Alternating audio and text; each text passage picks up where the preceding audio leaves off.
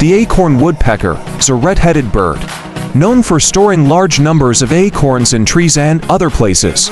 It saves its food from other birds and squirrels and uses it till winter. A single woodpecker stored 300 pounds of acorns in the transmitting antenna. All the when you show me the way.